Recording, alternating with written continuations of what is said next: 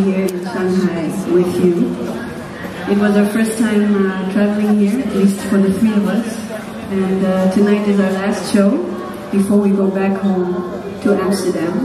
But it's beautiful to be here. Thank you. Thank you so much. We feel welcome, very. And um, it's lovely to be able to share our music with you. Um, these last two songs are on our latest album that we recorded in Namibia. So I was born in Namibia, but I came to uh, Europe when I was very small.